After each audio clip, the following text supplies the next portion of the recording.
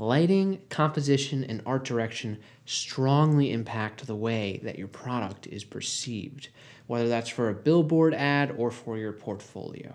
We're going to cover some of the best practices of rendering and photography for product design. Shout out to Render Weekly. I used a bunch of their free resources for this video. Their link is in the description. I highly recommend them.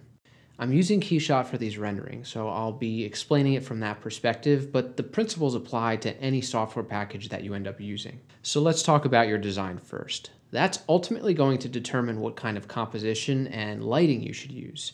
You need to ask yourself these questions. What is the point of this render and who are you presenting it to? What is the story you're trying to convey? Lighting and composition will create certain moods. The way that you light and compose the image will completely change how it's interpreted. It's going to change that story. So if we look at this rendering versus this one, we have two keyboards here that are very similar designs, but with drastically different lighting styles, lens focal lengths, and compositional choices.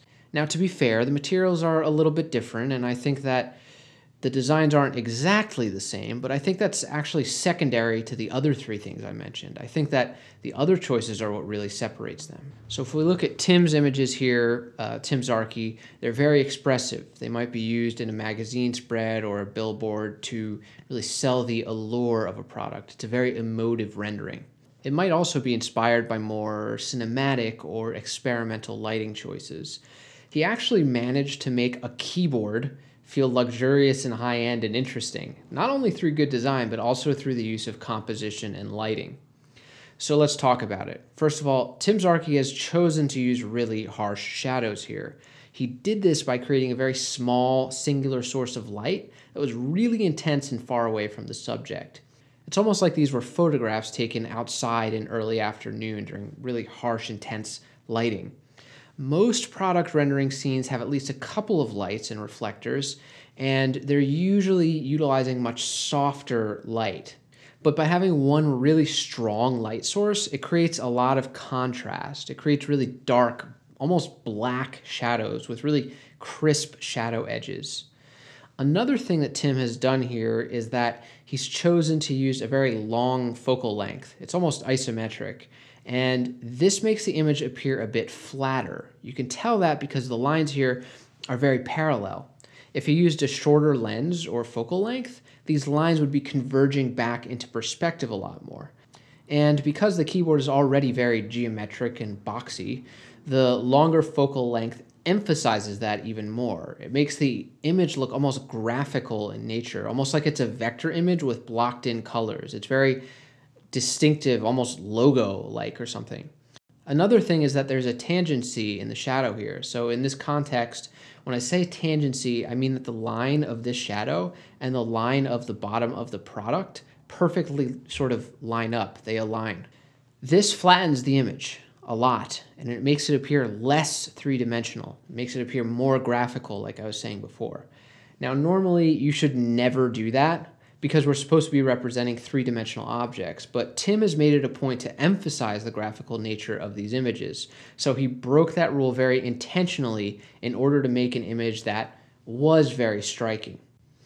If we look at Katharina's renderings, we have a super well executed rendering that's a little bit more conventional, and that's not a bad thing. The lighting is a little bit softer. Katharina probably used a much softer, bigger light that's closer to the product.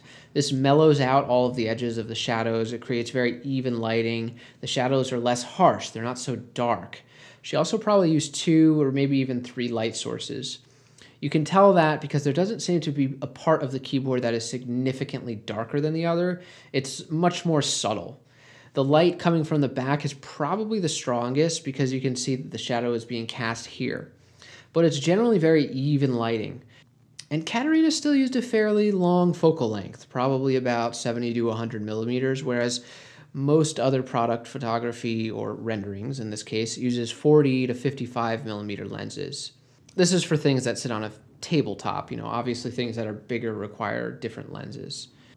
The reason for the 40 to 55 millimeter focal length sweet spot is pretty simple. That's sort of how the human eye perceives objects. So that's a very common focal length for that reason mostly. By the way, most of you aren't subscribed. You should subscribe. It doesn't hurt you at all. It helps me out a lot. And you know, if you change your mind later, you can always unsubscribe. Back to the video. In this rendering, she completely changed the attitude and feel of the product by having it float above the ground. This makes the rendering a lot less realistic, but it also adds a certain playfulness to it. This is a great example that shows how changing the composition completely changes the attitude and perception of the product, almost as much as the actual industrial design. Really cool stuff. The first image is probably more suited to product packaging. It's very descriptive. It shows you what the product is. It's very matter of fact. It shows you what the product is and what it looks like without really adding any embellishments. This is a good rendering to show on, once again, product packaging or maybe for a design review where you want to be able to easily compare different design details from each other if there's a whole bunch of concepts on the wall or something. The second image is a lot more evocative. It might be more suited to an advertisement to build up excitement about the product. It's less about description and more about sort of conveying an emotion. And there's a whole bunch of really excellent examples of great product photographers and renderers out there. Mark Serr is probably my favorite product photographer. In this image, he's basically managed to elevate a torn piece of foam core to the level of art. And he's got some great product photography work, which we'll talk about in a bit. There's also Man vs. Machine, which does some of the most stunning visuals I've ever seen. Tim Zarki, Will Gibbons, and Esben Oxholm are all really excellent 3D specialists who focus mostly on product photography. Both Will and Esben have YouTube channels, which I will actually link in the description. They have really, really good tutorials. I highly recommend them. So let's go over lighting now. Basically, a good rule to follow with lighting is that the area of highest contrast, usually the area that's brightest, will command the most attention. That's going to be your first read. So figure out what part of the device you want to highlight in this particular render. If there's a specific feature that makes your product special, you could start by putting visual emphasis on that. Just like there's visual hierarchy in industrial design and the actual design itself, there needs to be that same visual hierarchy in your renderings and product photography. So for this chair designed by Jusian Yang, the photographer, Mark Serr, put a spotlight that highlights the most interesting part of the design, which is the way that these wood pieces wrap around in this sort of spiral shape. In this other image, also photographed by Mark, notice how he emphasizes the front of the lens of this telescope. Then the highlights along the side gradually lead your eye to the back of the device. There's just a little hint of rim lighting for the rear eyepiece and the stand that the device sits on, which helps to separate it from the background. That's essentially what rim lighting is. It's just these little uh, subtle white lines, and that can be achieved by having a light behind the object. You can also use rendering and product photography to communicate an idea for the product. So in these photographs by Nick Baker, or I actually think it was one of his colleagues who did these shots, but but what's interesting about these is that it clearly shows you what the product does and it sort of makes it feel very playful, right? I mean, essentially what this is is a clock that stretches around anything and he sort of chose to stretch it around a lot of things that are maybe a little bit ridiculous, but that sort of adds to the whimsy of it, it adds to the playfulness of it and, you know, it's sort of a creative product. So, of course, it makes sense to photograph it creatively. Okay, so you've seen some examples. Here's how you can actually achieve this in your own work. Now, I think one key thing to keep in mind is that just like other aspects of design, when it comes to lighting and composition, less is more. I've taken this design from the Render Weekly database. This little toy helicopter thing was designed by James Connors. Once again, links are in the description. And I've applied a couple of various materials to this. We've got some tinted glass, we got some matte and glossy plastic, and we've got a little color pop here just sort of mixed in for some variety. So like I said, in terms of lighting and composition, let's keep it simple. One of the most simple ways to get a good composition is to follow the rule of thirds. So basically areas of interest should hit these major intersection points right here. This is not the only way to compose an image not by any means. There are plenty of others, but it is indeed a tried and true method. The reality is that when it comes to composition, you're going to have to experiment a lot and try a couple of different things. So we have a basic composition here. Let's start with just one light and let's make the studio environment black. Here's one key thing. If you want to learn about lighting and image composition, look to photography. That's critically important here. So we have our black background here. This is what it looks like when you have a really harsh, tiny light that's really, really far away, almost like the sun, basically.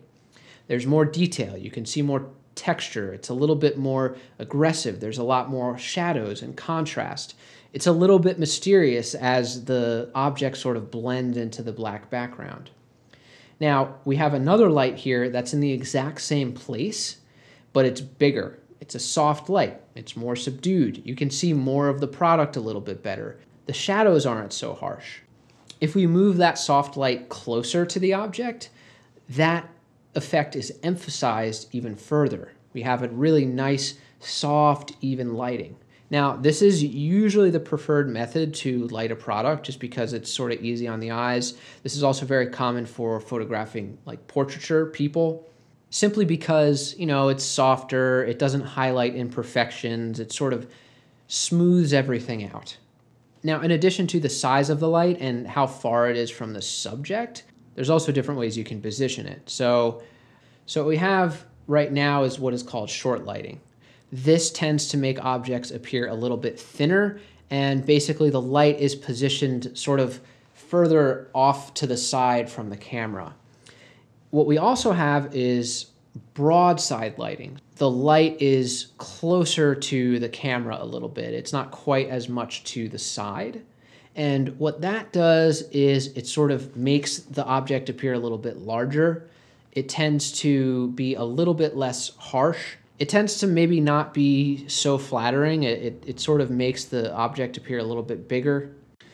So with short lighting, the shadows are more prominent, right? Because the darker side of the product is facing more of the camera broad lighting implies sort of a lighter, brighter mood. And of course, you know, that kind of makes sense. You can see more of the subject that you're photographing. Another thing is that broad lighting tends to hide imperfections because the light sort of drowns out all of the, the features. It's hard for me to say whether one is better for another for any given situation. It really just depends on the product that you're lighting. These are just sort of general guidelines on a more general level, I guess one way to think of it is like short lighting is better if you want something that's a little bit more dramatic and mysterious because you see more shadows and you don't see as much of the object. And broad lighting is maybe better for more illustrative renderings where you want to actually show how something works. But once again, it really depends on the subject matter. Another thing to think about is rim lighting or backlighting. Backlighting just means that the light is basically behind the object. And rim lighting is a little bit more specific where it's creating a rim of light around the edge of the object. So rim lighting is good if you're trying to separate the object from the background. If you want it to basically pop more, it's a little bit higher contrast. You can take out rim lighting if you want the design to feel a little bit more natural because you know most things don't have a rim of light behind them most of the time. And you can combine and mix and match things endlessly. So, you know, I can turn all of these off and turn on one at a time and see what each of them does. I can turn on two at a time. I can turn on three. I can turn on all of them and see what happens. I mean, it's kind of endless what the possibilities are. Another thing that you can do is sort of adjust the intensity of each of them. So maybe you want your short light to be stronger, maybe you want your broad light to be sort of a soft fill there's a whole bunch of things that you can try out. And once again, it sort of comes down to experimentation. Another thing that you can try, of course, is top lighting. You can move the top light slightly behind the subject or a little bit in front of it, and you can see how that sort of changes it. You can also change the background color. So if we look here, if I make this white, it completely changes the attitude of the rendering. Something that was really kind of harsh and too bright on a black background suddenly sort of looks okay on a white background. So you want to think about that as well. Another thing that I want to talk about is three-point lighting because three-point lighting is a really, really good sort of starting point for your light. So you basically have your key light, which is going to be the key light. It it illuminates the subject the most. And then you have a fill so that the shadows from the key light aren't too harsh. And then you have a backlight to basically separate the subject from the background. It's sort of a tried and true method. If you're not sure how to light a product, it's good to start with this simply because it generally yields at least an acceptable outcome. Another thing that's really important is depth of field. So depth of field is really interesting because once again, it can bring emphasis or a focal point to the product. If you want to sort of emphasize the front of it or the back of it, it really sort of changes the attitude of the rendering and it sort of gives it that focal point. Light temperature is also really important. So you can change these. Right now they have sort of a bluish hue to them, but you know, you could do something that's maybe a bit warmer. You can change one of the lights to be warmer and the other lights to be cooler. And this is called a warm to cool fade. It's sort of a tried and true method. You can mess around a lot with color. Generally speaking, the more colored lights you add to a scene, the more sort of unnatural and mysterious it's going to seem. It might feel a little bit more exciting and emotional and interesting though. So you just sort of have to balance that out. You have to decide like, okay, what do I want to communicate with this rendering? You can use the standard Keyshot HDRI and I do it sometimes. Uh, I have found some of them to be useful, but I prefer to use area lights simply because I do have a little bit of a photography background and to me, it helps me understand the positioning of the lights within the scene better. I can see where each light is. Whereas with the HDRI, it's not always clear where the light is coming from. It, it doesn't really show you where each light is positioned in relation to the product itself, at least as far as I know. If you guys can show me how to do that, let me know in the comments. One thing that's cool about HDRI light pins in Keyshot is that when you make one, you can click on where you want it to highlight the model, and that can be really helpful sometimes. Another thing that's really interesting about them, and I don't know if you can do this with area lights, I could be wrong, is that you can actually uh, change the fall off of the light. So the fall off is essentially the way that the light sort of fades out and dissipates into space. So that can be really helpful as well. And that is one instance where I might use an HDRI light. You can also find a whole bunch of HDRIs online, and some of them are really good. I just prefer to do it this way simply because I like to have a little bit more control. I have used HDRIs, and there's nothing wrong with them. They're an industry standard. Everybody uses them. Very, very good 3D artists and rendering artists use them. There's nothing wrong with them. I just prefer to do it this way. It's just a preference. And of course, adding a background versus no background definitely affects the feel and look of the product as well. I mean, generally speaking, by adding a background, it makes it feel more realistic because most things don't exist in a pure black background. But once again, it's really just a stylistic choice. If you want to bring more emphasis to your product, sometimes it makes sense to have it just on a pure white or pure black or some kind of colored background. So anyway, I think that's a good primer on art direction. This stuff is really, really important because it will directly impact the way that people perceive your product. So as always, I hope you guys found this helpful. I hope you learned something. By the way, if you're not subscribed, you should totally subscribe. It helps me out a lot and I'd really appreciate it.